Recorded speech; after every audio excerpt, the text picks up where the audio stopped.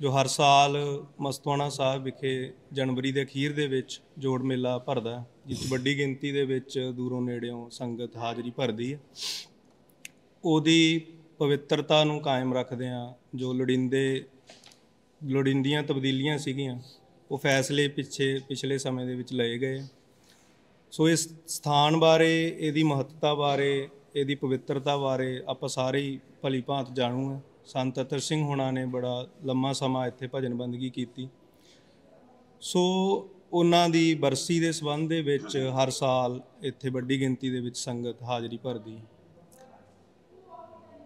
ਪਿਛਲੇ ਸਮੇਂ 'ਚ ਆਪਣੇ ਸਾਰਿਆਂ ਦੇ ਧਿਆਨ 'ਚ ਹੀ ਹੈ, ਪਿਛਲੇ ਸਾਲ ਹੋਲੇ ਮਹੱਲੇ ਦੌਰਾਨ ਅਨੰਦਪੁਰ ਸਾਹਿਬ ਵਿਖੇ, ਉੱਥੇ ਇੱਕ ਨਿਹੰਗ ਸਿੰਘ ਵੱਲੋਂ ਜਦੋਂ ਟਰੈਕਟਰਾਂ ਤੇ ਚੱਲਦੇ ਡੈਕ ਬੰਦ ਕਰਾਏ ਜਾ ਰਹੇ ਸੀਗੇ, ਤਾਂ ਉਹ ਉਸ ਦੌਰਾਨ ਜਿਹੜੀ ਘਟਨਾ ਵਾਪਰੀ, ਉਹ ਨਿਹੰਗ ਸਿੰਘ ਦੀ ਜਾਨ ਚਲੀ ਗਈ ਉੱਥੇ।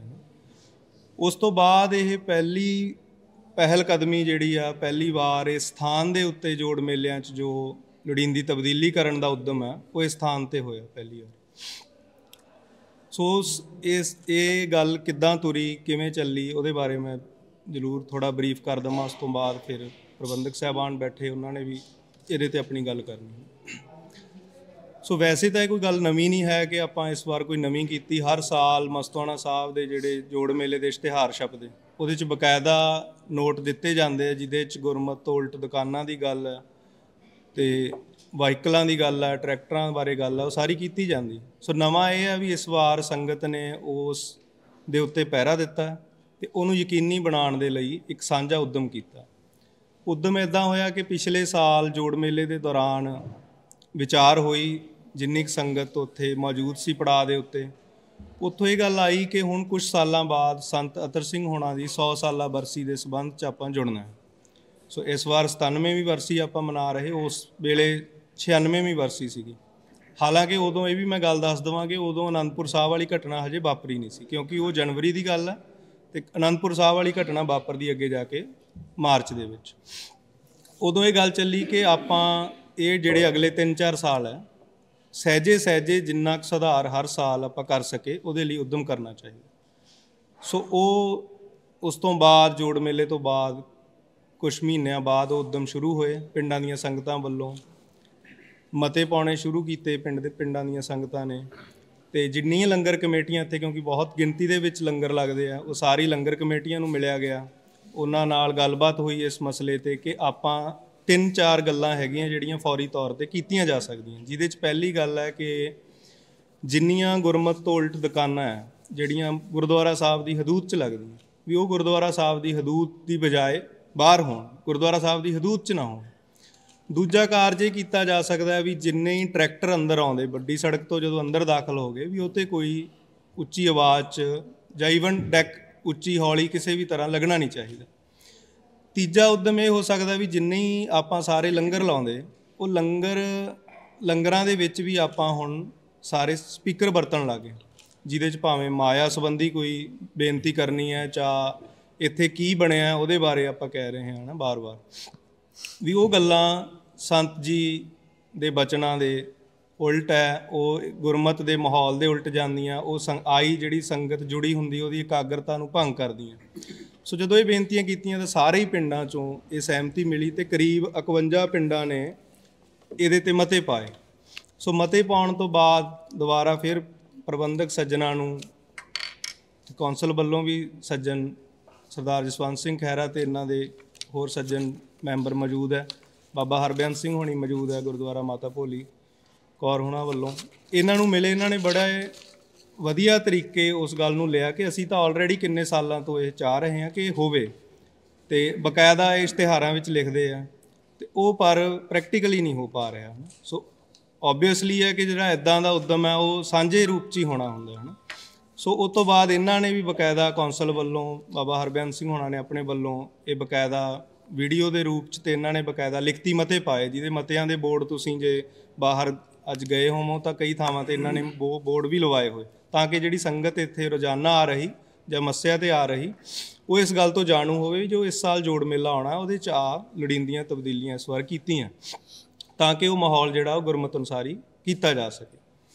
ਸੋ ਇੱਕ ਗੱਲ ਮੈਂ ਅਖੀਰ 'ਚ ਇਹ ਕਰਨੀ ਕਿ ਜਿਹੜੀ ਗੱਲ ਅਸੀਂ ਪਹਿਲੋਂ ਫਿਕਰ ਕਰਕੇ ਚੱਲੇ ਸੀ ਕਿ ਇਹ ਗੱਲ ਆਉਣੀ ਵਾ, ਤੇ ਉਹ ਗਾਹੇ ਬਗਾਹੇ ਥੋੜੀ ਬਹੁਤ ਆਈ ਵੀ ਕਿ ਜਿਹੜੇ ਛੋਟੇ ਦੁਕਾਨਦਾਰ ਆ, ਉਹਨਾਂ ਦਾ ਇੱਥੇ ਨੁਕਸਾਨ ਹੋਣਾ ਜਦੋਂ ਆਪਾਂ ਅੰਦਰ ਕੋਈ ਦੁਕਾਨ ਨਹੀਂ ਲਾਵਾਂਗੇ।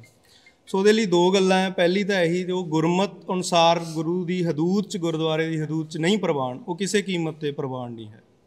ਦੂਜੀ ਗੱਲ ਆਪਾਂ ਕਿਤੇ ਵੀ ਇਹ ਨਹੀਂ ਕਿਹਾ ਕਿ ਉਹ ਆਪਦਾ ਇਹ ਕੰਮ ਹੀ ਛੱਡ ਦੇਣ ਜਾਂ ਨਾ ਲਾਣ ਦੁਕਾਨਾਂ ਉਹ ਸਿਰਫ ਗੁਰਦੁਆਰਿਆਂ ਦੀ ਜਿਹੜੀ ਹਦੂਦ ਹੈ ਮਸਤੂਆਣਾ ਸਾਹਿਬ ਦੀ ਸੜਕ ਤੋਂ ਅੰਦਰਲੇ ਪਾਸੇ, ਉੱਥੇ ਨਾ ਲਾਣ ਤੀਜੀ ਗੱਲ ਇਹ ਹੈ ਵੀ ਜੇ ਛੋਟੇ ਦੁਕਾਨਦਾਰਾਂ ਨੇ ਲਾਣਾ ਹੈ, ਤਾਂ ਗੁਰਮਤ ਅਨੁਸਾਰ ਹੀ ਬਕਾਇਦਾ ਇਹਨਾਂ ਨੇ ਆਪਣੇ ਮਤੇ 'ਚ ਵੀ ਮੈਂਸ਼ਨ ਕੀਤੀਆਂ ਗੱਲਾਂ ਕਿ ਕਿਹੜੀਆਂ-ਕਿਹੜੀਆਂ ਦੁਕਾਨਾਂ ਲੱਗ ਸਕਦੀਆਂ। ਜਿਹਦੇ 'ਚ ਕਕਾਰ ਹੈ, ਸ਼ਸਤਰ ਹੈ, ਗੁਰਮਤ ਅਨੁਸਾਰ ਕਿਤਾਬਾਂ ਹੈ, ਸਿੱਖ ਇਤਿਹਾਸ ਨਾਲ ਸੰਬੰਧਿਤ। ਸਾਡੇ ਰਵਾਇਤੀ ਸ਼ਸਤਰ ਹੈ, ਜਿੰਨੇ ਜੋੜ ਮੇਲਿਆਂ ਤੇ ਆਪਾਂ ਜਾਂਦੇ ਆ ਲੀਗਰ ਵੀਰ ਆਪਣੇ ਦੂਰੋਂ ਹੋਰ ਸੂਬਿਆਂ 'ਚੋਂ ਆ ਕੇ ਉਹ ਲਾਉਂਦੇ ਆ, ਹਨ? ਉਹਨਾਂ ਸਾਰਿਆਂ ਨੂੰ ਜੀ ਆਇਆਂ। ਸੋ ਜੋ ਗੁਰਮਤ ਅਨੁਸਾਰ ਹੀ ਜਿਹੜਾ ਹੈਗਾ ਸਟਾਲਾਂ, ਪ੍ਰਦਰਸ਼ਨੀਆਂ, ਦੁਕਾਨਾਂ, ਉਹ ਲੱਗ ਸਕਦੀਆਂ। ਸੋ ਇਹ ਸਾਰੇ ਨਾਲ ਇਸ ਪਹਿਲ ਕਦਮੀ ਦਾ ਅਸਰ ਇਹ ਹੋਣਾ ਹੈ ਕਿ ਦੇਖੋ ਜਿਹੜੇ ਵਿਗਾੜ ਹੈ, ਉਹ ਵੀ ਦੇਖਾ ਦੇਖੀ ਸ਼ੁਰੂ ਹੁੰਦੇ।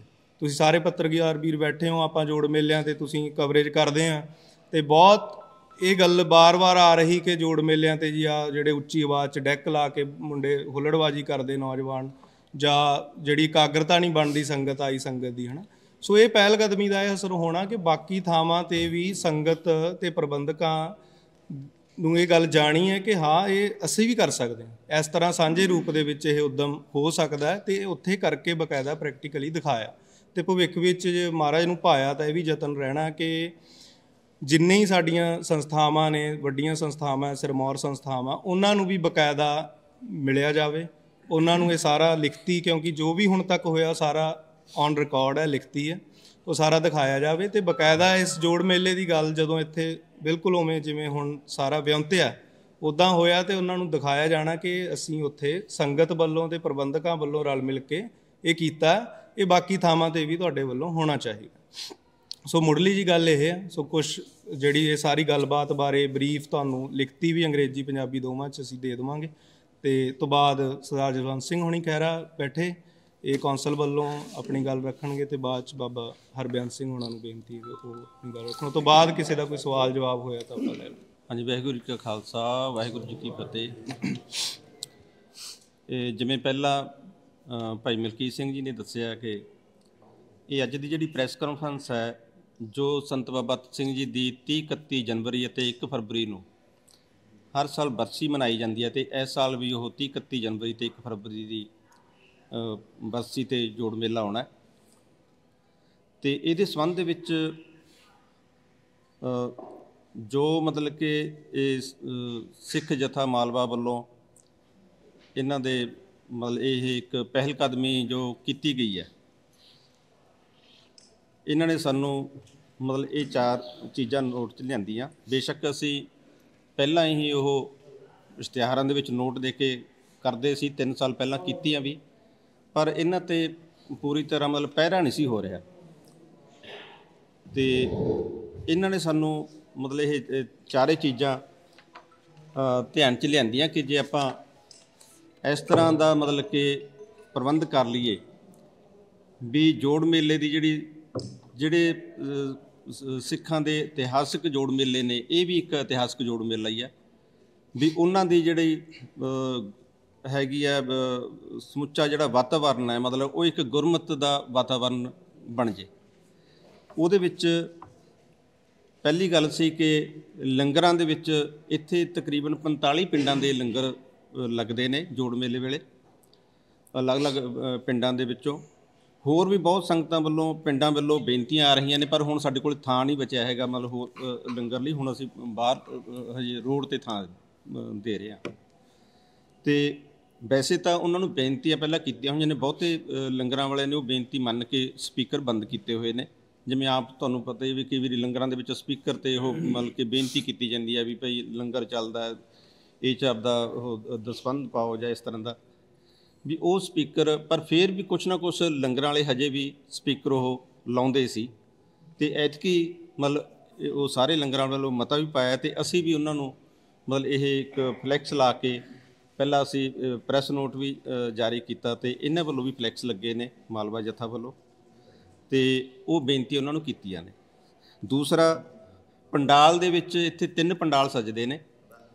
ਮੇਨ ਪੰਡਾਲ ਆ ਜਿਹੜਾ ਅਕੈਡਮੀ ਗਰਾਊਂਡ ਦੇ ਵਿੱਚ ਜੋ ਅਕਾਲ ਕਾਲਜ ਕੌਂਸਲ ਦੀ ਸਟੇਜ ਤੋਂ ਮਲ ਮਤਲਬ ਸਜਦਾ ਉਹ ਤਿੰਨੇ ਦਿਨ। ਤੇ ਦੂਸਰਾ ਪੰਡਾਲ ਜਿਹੜਾ ਗੁਰਦੁਆਰਾ ਮਾਤਾ ਭੋਲੀ ਜੀ, ਜਿਨ੍ਹਾਂ ਦੇ ਮੁੱਖ ਸੇਵਾਦਾਰ ਸਾਡੇ 'ਚ ਹਾਜ਼ਰ ਨੇ, ਬਾਬਾ ਹੇਰਬੰਸ ਸਿੰਘ ਜੀ। ਤੀਸਰਾ ਗੁਰਦੁਆਰਾ ਅੰਗੀਠਾ ਸਾਹਿਬ ਦੇ ਵਿੱਚ। ਇਹਨਾਂ ਦੇ ਸਪੀਕਰਾਂ ਦੀ ਆਵਾਜ਼ ਮਤਲਬ ਇਸ ਤਰ੍ਹਾਂ ਹੁੰਦੀ ਹੈ ਵੀ ਉਹ ਜੋ- ਜਿਹੜੇ ਦੂਸਰੇ ਜ- ਹੁੰਦੇ ਨੇ, ਯੂਨਿਟਾਂ ਵਾਲੇ ਸਪੀਕਰ ਹੁੰਦੇ ਨੇ ਉਹ ਇੱਕ ਦੂਜੇ ਵਿੱਚ ਟਕਰਾਉਂਦੇ ਨੇ ਮਤਲਬ ਉਹ ਇੱਕ ਪੰਡਾਲ ਦੀ ਫਿਰ ਜਿਹੜੀ ਆਵਾਜ਼ ਹੈ ਉਹੀ ਉਹਨੂੰ ਉੱਥੇ ਮਤਲਬ ਕਿ ਇੰਨਾ ਮਤਲਬ ਰੌਲਾ ਗੋਲਾ ਹੋ ਜਾਂਦਾ ਵੀ ਉੱਥੇ ਸਮਝ ਨਹੀਂ ਆਉਂਦੀ ਵੀ ਉਹ ਸਟੇਜ ਤੋਂ ਕੀ ਕਿਹਾ ਜਾ ਰਿਹਾ। ਉਹ ਚ ਮਤਲਬ ਅਸੀਂ ਅ, ਕੀ ਕੀਤਾ ਕਿ ਉਹ ਜਿਹੜੇ ਵੱਡੇ ਸਪੀਕਰ ਨੇ ਮਤਲਬ ਕਿ ਉਹਨਾਂ ਦੀ ਬਜਾਏ ਤੇ ਬਕਸਿਆਂ ਵਾਲੇ ਸਪੀਕਰ ਤੇ ਕੋਸ਼ਿਸ਼ ਇਹ ਰੱਖੀ ਜੋ ਵੀ ਉਹ ਪੰਡਾਲ ਦੇ ਸਪੀਕਰਾਂ ਦੀ ਆਵਾਜ਼ ਉਹ ਪੰਡਾਲ ਤੱਕ ਸੀਮਿਤ ਰਹੇ। ਤੇ ਤੀਸਰਾ ਜਿਹੜੇ ਕਈ ਮਤਲਬ ਆਪਣੇ ਨੌਜਵਾਨ ਖਾਸ ਤੌਰ ਤੇ ਜਿਹੜੇ ਜਿਹੜੇ ਲੰਗਰ ਅ, ਲੈ ਕੇ ਆਉਂਦੇ ਨੇ ਜਾਂ ਦੁੱਧ ਦੀਆਂ ਰਸਤਾਂ ਲੈ ਕੇ ਆਉਂਦੇ ਨੇ ਲੰਗਰਾਂ ਦੇ ਵਿੱਚ ਉਹ ਸਪੀਕ ਟਰੈਕਟਰਾਂ ਤੇ ਨਾ ਡੈਕ ਬਹੁਤ ਉੱਚੀ ਲਾਉਂਦੇ ਨੇ। ਉਹ ਡੈਕ ਤੋਂ ਹੀ ਜਿਵੇਂ ਇਹਨਾਂ ਨੇ ਭਾਈ ਸਾਹਿਬ ਨੇ ਪਹਿਲਾਂ ਜ਼ਿਕਰ ਕੀਤਾ ਕਿ ਉਹ ਡੈਕ ਤੋਂ ਹੀ ਅਨੰਦਪੁਰ ਸਾਹਿਬ ਵਿਖੇ ਬਹੁਤ ਵੱਡੀ ਘਟਨਾ ਹੋ ਚੁੱਕੀ ਹੈ ਇੱਕ ਮਤਲਬ ਉੱਥੇ ਮਰਡਰ ਤੱਕ ਹੋ ਗਿਆ ਮਤਲਬ ਕਿ ਸਿਰਫ ਇੱਕ ਡੈਕ ਤੋਂ। ਤੇ ਉਹ ਵੀ ਮਤਲਬ ਅਸੀਂ ਸਾਰਿਆਂ ਨੂੰ ਬੇਨਤੀ ਕੀਤੀ ਹੈ ਅਸੀਂ ਵਲੰਟੀਅਰ ਦੀ ਡਿਊਟੀ ਵੀ ਲਾਵਾਂਗੇ। ਸਾਡੇ ਕੋਲੇ ਅ, 200 ਦੇ ਕਰੀਬ ਵਲੰਟੀਅਰ ਹੁੰਦਾ ਕਿਉਂਕਿ ਪੁਲਿਸ 3-4 ਸਾਲਾਂ ਤੋਂ ਬਹੁਤ ਹੀ ਸਾਡਾ ਸਾਥ ਨਹੀਂ ਦੇ ਰਹੀ ਤੇ ਗਿਣਤੀ ਨਹੀਂ ਮਤਲਬ ਪਹਿਲਾਂ ਇੱਥੇ ਬਹੁਤ ਮਤਲਬ ਕਈ ਉਹਨਾਂ ਦੀ ਸਬ ਡਿਵੀਜ਼ਨਾਂ ਦੀ ਪੁਲਿਸ ਆ ਜਿਹੜੀ ਲਾਈ ਜਾਂਦੀ ਸੀ। ਤੇ ਪਰ ਹੁਣ ਉਹਨਾਂ ਦੀ ਨਫਰੀ ਬਹੁਤ ਘੱਟ ਹੁੰਦੀ ਹੈ ਸ਼ਾਇਦ ਉਹਨਾਂ ਦੀਆਂ ਡਿਊਟੀਆਂ ਹੋਰ ਕਿਧਰੇ ਜ਼ਿਆਦਾ ਬਣ ਗਈਆਂ। ਇਸ ਲਈ ਅਸੀਂ ਆਪਦੇ 200 ਵਲੰਟੀਅਰ ਤਿਆਰ ਕੀਤੇ ਹੋਏ ਨੇ ਜਿਹੜੇ ਇਹਨਾਂ ਚੀਜ਼ਾਂ ਨੂੰ ਲਾਗੂ ਕਰਨ ਲਈ ਜਾਂ ਇਹਨਾਂ ਨੂੰ ਬੇਨਤੀਆਂ ਨਾਲ ਕਰਕੇ, ਮਤਲਬ ਜਿਵੇਂ ਡੈਕ ਲੱਗਦੇ ਨੇ ਜਾਂ ਉਹਨਾਂ ਨੂੰ ਮਤਲਬ ਇਹ ਇਸ ਚੀਜ਼ ਤੋਂ ਰੋਕਿਆ ਜਾਊਗਾ ਕਿ ਪੰਡਾ ਇੱਥੇ ਜੋੜ ਮੇਲੇ ਦੀ ਹਦੂਦ ਦੇ ਅੰਦਰ ਕਿਸੇ ਵੀ ਟਰੈਕਟਰ ਤੇ ਡੈਕ ਨਹੀਂ ਵੱਜੂਗਾ। ਤੇ ਪਹਿਲਾਂ ਅਸੀਂ ਬੇਨਤੀ ਕਰਾਂਗੇ, ਜੇ ਫਿਰ ਬੇਨਤੀ ਨਾ ਹੋਈ ਤੇ ਫਿਰ ਥੋੜਾ ਹੋ ਸਕਦਾ ਥੋੜੀ ਜੀ ਸਖਤੀ ਵੀ ਕਰਨੀ ਪਵੇ। ਤੇ ਦੂ ਆਖਰੀ ਹੈਗਾ ਜਿਹੜਾ ਮੇਨ ਮੁੱਖ ਮੁੱਦਾ ਹੈ, ਉਹ ਹੈਗਾ ਦੁਕਾਨਾਂ ਤੇ ਝੂਲਿਆਂ ਦਾ। ਦੁਕਾਨਾਂ ਵਿੱਚੋਂ ਅਸੀਂ ਪਹਿਲਾਂ ਹੀ ਬੰਦ ਕੀਤੀਆਂ ਹੋਈਆਂ ਸੀ ਪਰ ਹੁਣ ਇਹ ਇਹ, ਆਪਣਾ ਇਹ ਆ ਵੀ ਮੇਨ ਰੋਡ ਤੋਂ ਅੰਦਰ ਕੋਈ ਵੀ ਦੁਕਾਨ ਜਿਹੜੀ ਸਿਰਫ ਉਹੀ ਦੁਕਾਨ ਲੱਗੂਗੀ ਜਿਹੜੀ ਅ, ਗੁਰਮਤ ਦੇ ਅਨੁਸਾਰ ਦੁਕਾਨ ਹੋਵੇ ਜਿਹਦੇ ਵਿੱਚ ਅਸੀਂ ਵਿਆਖਿਆ ਵੀ ਕੀਤੀ ਹੈ ਕਿ ਜਿਹਦੇ ਵਿੱਚ ਕਕਾਰਾਂ ਦੀਆਂ ਦੁਕਾਨਾਂ ਹੋ ਸਕਦੀਆਂ ਨੇ ਅ, ਜਿਹਦੇ ਵਿੱਚ ਅ, ਪੁਸਤਕਾਂ ਦੀਆਂ ਅ, ਹੋ ਸਕਦੀਆਂ ਨੇ ਸਿੱਖ ਇਤਿਹਾਸ ਨਾਲ ਸੰਬੰਧਿਤ ਜਾਂ ਪੰਜਾਬ ਦੇ ਇਤਿਹਾਸ ਨਾਲ ਸੰਬੰਧਿਤ ਹੋ ਸਕਦੀਆਂ ਨੇ ਪੁਸਤਕ ਪ੍ਰਦਰਸ਼ਨੀਆਂ ਜਾਂ ਖੇਤੀਬਾੜੀ ਨਾਲ ਸੰਬੰਧਿਤ ਕੋਈ ਕੋਈ ਸੀਡ ਵਾਲੇ, ਬੀਜ ਵਾਲੇ, ਉਹ ਅਸੀਂ ਆਪਦੇ ਵੀ ਸਾਡੇ ਸੀਡ ਫਾਰਮ ਦੀਆਂ ਵੀ ਲੱਗਦੀਆਂ ਨੇ, ਹੋਰ ਸੀਡ ਫਾਰਮ ਵੀ ਇੱਥੇ ਆ ਕੇ ਲਾਉਂਦੇ ਨੇ। ਇਹ ਸਿਰਫ ਮਤਲਬ ਕਿ ਉਹਨਾਂ ਨੂੰ, ਦੁਕਾਨਾਂ ਨੂੰ ਹੀ ਅਲਾਉ ਕੀਤਾ ਜਾਊਗਾ। ਤੇ ਝੂਲੇ ਜਿਹੜੇ ਲੱਗਦੇ ਸੀ, ਉਹ ਝੂਲਿਆਂ ਨੂੰ ਐਤਕੀ ਅਸੀਂ ਮਤਲਬ ਕਿ ਜਵਾਬ ਦਿੱਤਾ ਕਿ ਉਹ ਝੂਲੇ ਨਹੀਂ ਲੱਗਣਗੇ। ਕਿਉਂਕਿ ਝੂਲਿਆਂ ਨਾਲ ਵੀ ਕਾਫੀ ਜਿਹੜਾ ਮਾਹੌਲ ਹੈ, ਮਤਲਬ ਉਹ ਹੋ ਹੋ ਜਾਂਦਾ ਰੌਲੇ ਰੱਪੇ ਵਾਲਾ ਹੋ ਜਾਂਦਾ। ਤੇ ਇਹਨਾਂ ਨੂੰ ਅਸੀਂ ਜਿੱਥੇ ਆਪਦੇ ਅਕਾਲ ਕਾਲਜ ਕੌਂਸਲ ਦੀ ਮੀਟਿੰਗ ਦੇ ਵਿੱਚ ਇਹ ਬਕਾਇਦਾ ਮਤਾ ਪਾਸ ਕਰਕੇ ਅਸੀਂ ਥਾਂ ਥਾਂ ਇੱਥੇ ਮਤਲਬ ਫਲੈਕਸ ਲਵਾਏ ਨੇ ਤੇ ਇੱਥੇ ਪ੍ਰੈਸ ਨਿਊਜ਼ ਵੀ ਦਿੱਤੀ ਹੈ ਤੇ ਇਹਦੇ ਨਾਲ ਹੀ ਕਿਉਂਕਿ ਕਈ ਇੱਥੇ ਸਾਹਮਣੇ ਮਤਲਬ ਪ੍ਰਾਈਵੇਟ ਬੰਦੇ ਵੀ ਉਹ ਝੂਲੇ ਵਗੈਰਾ ਫਿਰ ਲਵਾ ਲੈਂਦੇ ਨੇ ਮਤਲਬ ਉਹਦੇ ਵਿੱਚ ਆ ਕੇ। ਅਸੀਂ ਉਹਨਾਂ ਨੂੰ ਵੀ ਮੈਸੇਜ ਲਾਤਾ ਵੀ ਇਹ ਝੂਲਾ ਐਤਕੀ ਨਹੀਂ ਲੱਗਣੇ। ਅਸੀਂ ਡਿਪਟੀ ਕਮਿਸ਼ਨਰ ਨੂੰ ਤੇ ਐਸਐਸਪੀ ਨੂੰ ਵੀ ਇਹਦੇ ਸੰਬੰਧ ਦੇ ਵਿੱਚ ਉਹ ਮਤੇ ਲੈਟਰ ਲਿਖ ਕੇ ਭੇਜ ਚੁੱਕੇ ਜੇ ਹਾਂ ਕੋਈ ਲਵਾ ਲੈਂਦਾ ਫਿਰ ਉਸ ਤੋਂ ਕੀ ਕਾਰਵਾਈ ਹੋਊਗੀ? ਉਹ ਤੇ ਅਸੀਂ ਪ੍ਰਸ਼ਾਸਨ ਤੋਂ ਸਹਿਯੋਗ ਮੰਗਿਆ। ਉਹ ਅਸੀਂ ਡੀਸੀ ਸਾਹਿਬ ਨੂੰ ਮਿਲ ਚੁੱਕੇ ਹਾਂ ਐਸਐਸਪੀ ਸਾਹਿਬ ਨੂੰ ਮਿਲ ਚੁੱਕੇ ਹਾਂ ਉਹਨਾਂ ਨੂੰ ਬਕਾਇਦਾ ਆਪਦੇ ਮਤੇ ਦੇ ਚੁੱਕੇ ਹਾਂ ਤੇ ਉਹ ਉਹਨਾਂ ਨੇ ਸਾਨੂੰ ਪੂਰਾ ਭਰੋਸਾ ਦਿੱਤਾ ਵੀ ਤੁਹਾਡਾ ਇਸ ਗੱਲ ਦੇ ਵਿੱਚ ਪੂਰਾ ਪ੍ਰਸ਼ਾਸਨ ਵੱਲੋਂ ਸਾਥ ਹੋਊਗਾ। ਤੇ ਫਿਰ ਅਸੀਂ ਉਹ ਪੁਲਿਸ ਦੇ ਧਿਆਨ 'ਚ ਲਿਆ ਕੇ ਮੈਨੂੰ ਲੱਗਦਾ ਵੀ ਇੱਥੋਂ ਤੱਕ ਨਹੀਂ ਸ਼ਾਇਦ ਕੋਈ ਸਟ੍ਰਿਕਟ ਜਾਂਦਾ। ਤੇ ਇਹ ਕਹਿ ਰਿਹਾ ਸਾਹਿਬ ਪਿਛਲੀ ਵਾਰ ਕੋਈ ਜਿਸ ਤਰ੍ਹਾਂ ਕੋਈ ਲਾਟਰੀ ਵਗੈਰਾ ਦਾ ਸਿਸਟਮ ਚੱਲਿਆ ਸੀਗਾ ਕੋਈ ਟਰੈਕਟਰ ਵਗੈਰਾ ਕੱਢਣ ਦਾ ਉਹਦੇ ਤੇ ਕਾਫੀ ਮਤਲਬ ਤਵਾ ਲੱਗਿਆ ਕਾਫੀ ਸੋਸ਼ਲ ਮੀਡੀਆ ਤੇ ਵੀ ਉਹ ਐਕਟਿਵ ਹੋਇਆ ਬੰਦਾ। ਵੀ ਇੱਦਾਂ ਕਰਕੇ ਇੰਨੇ ਪੈਸੇ ਪਾਓ ਉਹਨੂੰ ਗਰੰਟੀ ਨਾਲ ਟਰੈਕਟਰ ਨਿਕਲੂ ਇਹ ਉਹ ਇਦਾਂ ਦਾ ਤਾਂ ਕੋਈ ਚੀਜ਼ ਮਨਾਈ ਨਹੀਂ ਜੋੜ ਮੇਲੇ ਤੇ ਤਾਂ ਇਸ ਤਰ੍ਹਾਂ ਦਾ ਕੋਈ ਨਹੀਂ ਮਤਲਬ। ਨਹੀਂ ਜੋੜ ਮੇਲੇ ਤੋਂ ਇਲਾਵਾ ਹੈ ਨਹੀਂ ਨਹੀਂ ਜੋੜ ਮੇਲੇ ਤੇ ਨਹੀਂ ਲੱਗਦੇ ਹੈਗੇ। ਪਹਿਲਾਂ ਆਪਾਂ ਜੋੜ ਮੇਲੇ ਵਾਲਾ ਮੇਰੇ ਖਿਆਲ 'ਚ ਮੁੱਦਾ ਸਮਾਪਤ ਕਰ ਲਈਏ ਉਸ ਤੋਂ ਬਾਅਦ ਜਿਹੜਾ ਕੋਈ ਹੋਰ ਹੈਗਾ ਮੈਂ ਇਹ- ਇਹਦੇ ਬਾਰੇ ਵੀ ਸਾਰਿਆਂ ਬਾਰੇ ਆਪਾਂ ਕਲੀਅਰ ਕਰ ਲਾਂਗੇ। ਵੈਸੇ ਯਾਰ ਟਰੈਕਟਰ ਵਾਲਾ ਮੈਂ ਦੱਸ ਦਿੰਨਾ ਜੋੜ ਮੇਲੇ ਤੇ ਨਹੀਂ ਹੋਇਆ ਇਹ। ਕਈ ਜਿਹੜੇ ਇਹ ਹੁਣ ਪ੍ਰਾਈਵੇਟ ਲਾਟਰੀਆਂ ਸਿਸਟਮ ਜਿਹੜਾ ਮਤਲਬ ਹੋਇਆ ਸੀ ਇੱਥੇ ਟਰੈਕਟਰ ਜਾਂ ਹੋਰ ਮੋਟਰਸਾਈਕਲ ਲੋਕ ਖੜਾ ਲੈਂਦੇ ਸੀ ਆ ਕੇ। ਤੇ ਉਹ ਮਤਲਬ ਇੱਥੇ ਮਤਲਬ ਸੰਗਤ ਨੂੰ ਵੀ ਡਿਸਟਰਬ ਕਰਦੇ ਸੀ। ਉਹਦੇ ਬਾਰੇ ਮਤਲਬ ਅਸੀਂ ਬਹੁਤ ਵਾਰੀ ਪੁਲਿਸ ਦੇ ਧਿਆਨ 'ਚ ਲਿਆਂਦਾ। ਉਹ ਕਹਿੰਦੇ ਜੀ ਅਸੀਂ ਉਹ ਇੱਕ ਵਾਰੀ ਗੇੜਾ ਦੇ ਕੇ ਮੁੜ ਜਾਂਦੇ ਤੇ ਇੱਕ ਵਾਰੀ ਉਹਨਾਂ ਨੂੰ ਭਜਾ ਕੇ ਉਹ ਦੂਜੇ ਦਿਨ ਫੇਰ ਲਾ ਲੈਂਦੇ। ਤੇ ਉਹਨਾਂ ਨੂੰ ਆਖਿਆ ਸੀ ਵੀ ਇਹ ਇਲੀਗਲ ਨੇ ਕਿਉਂਕਿ ਪ੍ਰਾਈਵੇਟ ਲੋਟਰੀ ਜਿੰਨਾ ਚਿਰ ਤੁਸੀਂ ਉਹ ਤੋਂ ਜੀਐਸਟੀ ਮਹਿਕਮੇ ਤੋਂ ਜਾਂ ਡਿਪਟੀ ਕਮਿਸ਼ਨਰ ਤੁਹਾਨੂੰ ਅਪਰੂਵਲ ਨਹੀਂ ਦਿੰਦਾ ਹੈਗਾ ਉਸ ਤਰ੍ਹਾਂ ਤੁਸੀਂ ਪ੍ਰਾਈਵੇਟ ਲੋਟਰੀ ਨਹੀਂ ਮਤਲਬ ਸੇਲ ਕਰ ਸਕਦੇ। ਪਰ ਇਹਨਾਂ ਕੋਲੇ ਕਿਸੇ ਕੋਲੇ ਅਪਰੂਵਲ ਨਹੀਂ ਸੀ। ਫਿਰ ਆਈ ਚੈਨਲਾਂ ਦੇ ਥਰੂ ਹੀ ਅਸੀਂ ਫਿਰ ਬੇਨਤੀ ਭੇਜੀ ਡਿਪਟੀ ਕਮਿਸ਼ਨਰ ਨੂੰ ਮਿਲੇ। ਫਿਰ ਉਹਨਾਂ ਨੇ ਮਤਲਬ ਥੋੜਾ ਸਖਤੀ ਕਰਕੇ ਹੁਣ ਉਹ ਬੰਦ ਕਰਤੇ ਨਾਲ। ਸਰ ਜਿਹੜੀਆਂ ਦੁਕਾਨਾਂ ਪਹਿਲਾਂ ਤੇ ਇਹ ਪ੍ਰਸ਼ਾਸਨ ਵੱਲ ਜੋ ਕੁਝ ਹੁੰਦਾ ਮੈਂ ਤੁਹਾਨੂੰ ਇੱਕ ਗੱਲ ਕਲੀਅਰ ਦੱਸ ਦਿੰਦਾ। ਕਿ ਪੁਲਿਸ ਦੀ ਮਦਦ ਤੋਂ ਬਿਨਾ ਕੁਝ ਨਹੀਂ ਹੋ ਸਕਦਾ। ਨਾ ਇੱਥੇ ਪੰਜਾਬ 'ਚ ਨਸ਼ਾ ਵਿਕ ਸਕਦਾ ਹੈ ਨਾ ਕੋਈ ਇਸ ਤਰ੍ਹਾਂ ਦਾ ਗੈਰ ਕਾਨੂੰਨੀ ਲਾਟਰੀਆਂ ਦਾ ਧੰਦਾ ਕਰ ਸਕਦਾ ਹੈ।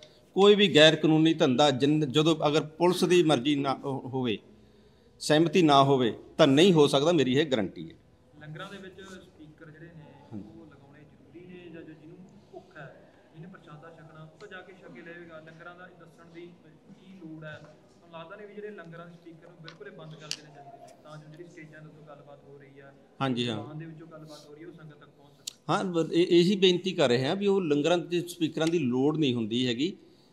ਵੈਸੇ ਜਿਵੇਂ 45 ਪਿੰਡਾਂ ਦੇ ਲੰਗਰ ਲੱਗਦੇ ਨੇ ਉਹ ਚੋਂ ਮਤਲਬ ਤਕਰੀਬਨ 30 35 ਪਿੰਡਾਂ ਨੇ ਬੰਦ ਕੀਤੇ ਹੋਏ ਨੇ ਕੋਈ ਨਹੀਂ ਸਪੀਕਰ ਲਾਉਂਦਾ ਪਰ 5 10 ਕੀ ਨੇ ਜਿਹੜੇ ਹਜੇ ਲਾਉਂਦੇ ਨੇ ਮੇਰੇ ਖਿਆਲ 'ਚ ਆਪਣੀ ਬੇਨਤੀ ਤੇ ਉਹ ਵੀ ਐਤਕੀ ਬੰਦ ਰੱਖਣਗੇ। ਕਿਉਂਕਿ ਲੰਗਰ ਤਾਂ ਅ, ਅਗਲਿਆਂ ਨੂੰ ਪਤਾ ਹੀ ਹੁੰਦਾ ਵੀ ਇੱਥੇ ਤਾਂ ਮਤਲਬ ਕਿ ਇੰਨੇ ਰਟੇ ਹੋਏ ਨੇ ਸਾਨੂੰ ਇਹ ਪਤਾ ਵੀ ਕਿਹੜੇ ਸਾਰੀ ਤਕਰੀਬਨ ਸੰਗਤ ਨੂੰ ਹੀ ਪਤਾ ਹੁੰਦਾ ਹੈ ਵੀ ਕਿਹੜੇ ਪਿੰਡ ਦਾ ਲੰਗਰ ਕਿੱਥੇ ਲੱਗਿਆ ਹੋਇਆ ਹੈ ਉਹ ਉਹਦੇ ਵਿੱਚ ਕੀ ਕੀ ਬਣਿਆ ਤੇ ਫਲਾਣੇ ਲੰਗਰ ਦੇ ਵਿੱਚ ਕੀ ਬਣਿਆ ਤੇ ਅਸੀਂ ਅਸੀਂ ਤਾਂ ਇਹ ਮਤਲਬ ਕਿ ਕਈ ਵਾਰੀ ਉਹ ਚਾਰਟ ਵੀ ਉੱਥੇ ਲਾ ਦਿੰਨੇ ਆ ਭਾਈ ਵੀ ਅ, ਆਹ ਲੰਗਰ ਇੱਥੇ ਇੱਥੇ ਲੱਗਿਆ ਹੋਇਆ। ਉਹਦੇ ਵਿੱਚ ਆਹ ਪਕਵਾਨ ਨੇ ਮਤਲਬ ਉੱਥੇ ਤੁਸੀਂ ਜੋ ਜੋ ਮਰਜ਼ੀ ਜਿੱਥੇ ਜਾ ਕੇ ਛਕ ਸਕਦਾ ਵੀ। ਸਪੀਕਰਾਂ ਦੀ ਲੋੜ ਨਹੀਂ ਹੈਗੀ ਜਿਹੜੇ ਲੰਗਰ ਪਹਿਲਾਂ ਲੱਗ ਰਹੇ ਹਾਂਜੀ, ਸੀਗੇ ਹਾਂਜੀ। ਕਿ ਉਹ ਉੱਥੇ ਹੀ ਲੱਗੋਂ ਵੀ ਲੱਗਣਗੇ? ਹਾਂ ਉਸ ਹੀ ਨੇ? ਲੱਗ- ਨਾ ਲੰਗਰ ਉਸ ਤਰ੍ਹਾਂ ਹੀ ਲੱਗਣਗੇ। ਲੰਗਰ ਉਸ ਤਰ੍ਹਾਂ ਹੀ ਲੱਗਣਗੇ ਉਸੇ ਸਥਾਨ ਤੇ ਲੱਗਣਗੇ। ਜਿੱਥੇ ਜਿੱਥੇ ਪਹਿਲਾਂ ਲੱਗਦੇ ਨੇ। ਤੇ ਸਿਰਫ ਉਹਨਾਂ ਤੋਂ ਸਪੀਕਰ ਦੀ ਬੇਨਤੀ ਕੀਤੀ ਹੈ ਵੀ ਸਪੀਕਰ ਦੇ ਵਿੱਚ ਅਨਾਉਂਸਮੈਂਟ ਨਾ ਕੀਤੀ ਜਾਵੇ। ਉਹ ਵੈਸੇ ਹੀ ਨਾ ਬੜੀ ਚੀਪ ਕਿਸਮ ਦੀ ਲੱਗਦੀ ਹੈ ਜਿਹੜੀ ਉਹ ਲੰਗਰ ਦੀ ਅਨਾਉਂਸਮੈਂਟ ਹੈ ਮਤਲਬ ਉਹ ਬੜੀ ਚੀਪ ਕਿਸਮ ਦੀ ਹੁੰਦੀ ਹੈ ਮਤਲਬ ਉਹ ਨਹੀਂ ਮਤਲਬ ਆਪਾਂ ਨੂੰ ਚਾਹੀ- ਚਾਹੀਦਾ। ਤਾਂ ਲੰਗਰ ਤਾਂ ਸੰਗਤ ਨੂੰ ਜਿਹੜਾ ਆਪਣੇ ਆਪ ਉਹ ਲੰਗਰ ਦੇ ਵਿੱਚ ਆਵੇ। ਤੇ ਉਹ- ਠੀਕ ਹੈ ਮਤਲਬ ਹੱਕ ਵਾਜਾਂ ਮਾਰ ਕੇ ਨਹੀਂ ਲੰਗਰ ਚ ਬੁਲਾਉਣਾ ਚਾਹੀਦਾ। ਅੰਦਰ ਦੁਕਾਨਾਂ ਨਹੀਂ ਲੱਗਣਗੀਆਂ ਕਿਸੇ ਵੀ ਕਿਸਮ ਦੀਆਂ ਜਿਹੜੀਆਂ ਗੁਰਮਤ ਦੇ ਅਨੁਸਾਰ ਨਹੀਂ ਹੈਗੀਆਂ। ਹੂੰ ਹੂੰ। ਪਰ ਉਹ ਕਿਉਂ ਲੱਗਦੀਆਂ ਰਹੀਆਂ? ਜਾਂ ਜਿਵੇਂ ਲੰਗਰਾਂ ਵਾਸਤੇ ਥਾਂ ਦਿੱਤੀ ਜਾਂਦੀ ਹੈ ਉਹਨਾਂ ਦੁਕਾਨਾਂ ਨੂੰ ਵੀ ਪ੍ਰਬੰਧਕਾਂ ਦੇ ਵੱਲੋਂ ਹੀ ਥਾਂ ਦਿੱਤੀ ਜਾਂਦੀ ਸੀ ਜਾਂ ਉਹਦੇ ਲੱਗਣ ਦੇ ਕੋਈ ਹੋਰ ਕਾਰਨ ਸੀ? ਅੱਜ ਤੱਕ ਉਹਨਾਂ ਨੂੰ ਬੰਦ ਕਿਉਂ ਨਹੀਂ ਕਰਵਾਇਆ ਜਾ ਸਕਿਆ? ਜਿਵੇਂ ਤੁਸੀਂ ਇਸ਼ਤਿਹਾਰਾਂ ਦੇ ਵਿੱਚ ਤਾਂ ਮਨਾਹੀ ਕਰਦੇ ਰਹੇ ਹੋ ਪਰ ਉਹ ਬੰਦ ਕਿਉਂ ਨਹੀਂ ਹੋ ਉਹ ਬੰਦੇ ਇਸ ਲਈ ਨਹੀਂ ਹੋ ਸਕੀਆਂ ਹੈਗੀਆਂ ਕਿਉਂਕਿ ਕਈ ਤਾਂ ਨਾ ਮੈਂ, ਚਲੋ ਹੁਣ ਮੈਨੂੰ ਵੀ ਕੁਛ ਤਾਂ ਲੰਗਰ ਵਾਲੇ ਨਾ, ਸ਼ਾਇਦ ਕਿ ਆਪਦੇ ਲੰਗਰ ਦੇ ਨਾਲ ਨਾਲ ਲਵਾ ਲੈਂਦੇ ਸੀ। ਕਈ ਦੁਕਾਨਦਾਰੀ ਮਤਲਬ ਜਿਵੇਂ ਉੱਥੇ ਕੀ ਹੈ ਅਸੀਂ ਮਤਲਬ ਕਾਫੀ ਵਾਰੀ ਕੋਸ਼ਿਸ਼ ਕੀਤੀ ਵੀ ਅੰਦਰੋਂ ਉਹ ਦੁਕਾਨ ਨਾ ਲੱਗਣੀ ਤੇ ਜਦੋਂ ਜੋ 30 ਤਰੀਕ ਨੂੰ ਜੋੜ ਮੇਲਾ ਸ਼ੁਰੂ ਹੋ ਜਾਂਦਾ ਹੈ, ਸੰਗਤ ਮਤਲਬ ਆਉਣੀ ਸ਼ੁਰੂ ਹੋ ਜਾਂਦੀ ਹੈ। ਮਤਲਬ ਪੱਕੀ ਦੁਕਾਨ ਤਾਂ ਨਹੀਂ ਕੋਈ ਅੰਦਰ ਮਤਲਬ ਲੱਗੀ ਅੰਦਰ ਸਿਰਫ ਪ੍ਰਦਰਸ਼ਨੀਆਂ ਲੱਗੀਆਂ ਨੇ।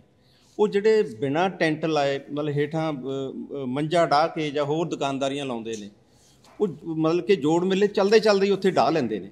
ਉਹਨਾਂ ਨੂੰ ਫਿਰ ਜਦੋਂ ਸਾਡੇ ਵਲੰਟੀਅਰ ਨੇ ਹਟਾਉਣ ਦੀ ਕੋਸ਼ਿਸ਼ ਕੀਤੀ, ਉਹ ਸੰਗਤ ਦੀ ਕਈ ਵਾਰੀ ਵੀ ਉਹਨਾਂ ਦੇ ਵਿੱਚ ਮਤਲਬ ਕਿ ਕਿਉਂਕਿ ਸੰਗਤ ਸੰਗਤ ਨੂੰ ਮਤਲਬ ਕਿ ਇਹਦੇ ਲਈ ਮਤਲਬ ਕਿ ਐਜੂਕੇਟ ਨਹੀਂ ਕੀਤਾ ਗਿਆ ਸੀ, ਮਤਲਬ ਅਵੇਅਰ ਨਹੀਂ ਕੀਤਾ ਗਿਆ ਸੀ ਵੀ ਭਾਈ ਇਹ ਸਾਡੇ ਵੱਲੋਂ ਮਨਾਹੀ ਹੈ। ਤੇ ਉਹ ਕਾਨੂੰ ਇਹਨੂੰ ਕਮਾ ਲੈਣ ਤੋਂ ਦੋ ਪੈਸੇ ਗਰੀਬ ਨੂੰ। ਮਤਲਬ ਉਹ ਕਹਿ ਕੇ ਫਿਰ ਸਾਨੂੰ ਪਿੱਛੇ ਹਟਣਾ ਪੈਂਦਾ ਸੀ। ਮਤਲਬ ਐਤਕੀ ਲੱਗਦਾ ਵੀ ਜਿਹੜੇ ਇਹ ਪ੍ਰਚਾਰ, ਮਤਲਬ ਮੈਂ ਇਹ ਇਹ ਚ ਕੋਈ ਮਤਲਬ ਸ਼ੱਕ ਨਹੀਂ ਹੈਗੀ। ਮੈਂ ਇਸ ਲਈ ਇਹਨਾਂ ਦਾ ਧੰਨਵਾਦ ਕਰਦਾ ਵੀ ਇਹਨਾਂ ਨੇ ਜਿਹੜੀ 3 ਮਹੀਨੇ ਪਹਿਲਾਂ ਇਹ ਪਹਿਲ ਕਦਮੀ ਲੱਗ, ਕਰ ਲਈ ਸੀ। ਮੈਂ ਹਜੇ ਇਹ ਸੋਚਦਾ ਸੀ ਵੀ ਇਹ 3 ਮਹੀਨੇ ਪਏ ਨੇ ਵੀ ਹੁਣੇ ਆਪਾਂ ਇਹ- ਇਹਨਾਂ ਚੀਜ਼ਾਂ ਤੇ ਕਿਉਂ ਮਤਲਬ ਇਹ ਕਾਰਵਾਈ ਕਰਨ ਲੱਗੇ। ਪਰ ਮੈਨੂੰ ਹੁਣ ਸਮਝ ਆਉਂਦੀ ਹੈ ਵੀ ਇਹਨਾਂ ਦਾ ਉਹ ਸਟ- ਸਮਾਂ ਜਿਹੜਾ ਬੜਾ ਠੀਕ ਸੀ। ਤਿੰਨ ਮਹੀਨਿਆਂ ਦੇ ਵਿੱਚ ਵਿੱਚ ਕਹਿੰਦੇ ਵੀ ਮੈਂਟਲੀ ਪ੍ਰਪੇਅਰ ਹੋ ਜੂ ਸਾਰੀ ਆਪਣੇ ਇਲਾਕੇ ਦੀ ਸੰਗਤ ਵੀ ਆਪਾਂ ਕੀ ਚਾਹੁੰਦੇ ਆ ਕਿਸ ਤਰ੍ਹਾਂ ਦਾ ਜੋੜ ਮੇਲਾ ਚਾਹੁੰਦੇ ਆ ਉਹ ਮੇਰੇ ਖਿਆਲ ਦੇ ਵਿੱਚ ਉਹ ਗੱਲ ਬੜੀ ਇੱਥੇ ਇਫੈਕਟਿਵ ਰਹਿਣੀ ਹੈ ਜਿਹੜੀ ਤਿੰਨ ਮਹੀਨੇ ਪਹਿਲਾਂ ਇਸ ਚੀਜ਼ ਤੇ ਗੱਲ ਸ਼ੁਰੂ ਕਰ ਲਈ ਗਈ। ਹੁਣ ਸਾਰੀ ਸੰਗਤ ਚ ਚਲੀ ਗਈ। ਹੁਣ ਸਾਨੂੰ ਬਹੁਤ ਆਪਣਾ ਅਹ, ਝੂਲੇ ਵਾਲਿਆਂ ਦੇ ਹੋਰ ਦੇ ਫੋਨ ਆਉਂਦੇ ਨੇ ਤੇ ਐਤਕੀ ਅ, ਕਿਤਨੇ ਕਿੱਥੇ ਲਾਈਏ ਜੀ ਕੀ ਬੋਲੀ ਮੈਂ ਕਿਹਾ ਵੀ ਭਾਈ ਐਤਕੀ ਨਹੀਂ ਲੱਗਣੇ ਹੈਗੇ। ਕਿਉਂਕਿ ਅਗਲੇ ਨੂੰ ਪਹਿਲਾਂ ਹੀ ਪਤਾ ਹੈ। ਤੇ ਹੁਣ ਜਿਹੜਾ ਵੀ ਪੁੱਛਦਾ ਮਤਲਬ ਅਗਲੇ ਨੂੰ ਨੋਟਸ ਵੀ ਲੱਗ ਗਏ ਮਤਲਬ ਇਹ ਗੱਲ ਸੰਗਤ 'ਚ ਚਲੀ ਗਈ।